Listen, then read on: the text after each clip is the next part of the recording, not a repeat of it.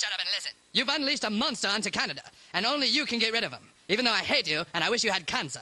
You are such a dick, Scott. You're a dick. You're a dick. You're a dick. You're a dick. You're a dick. You're a dick.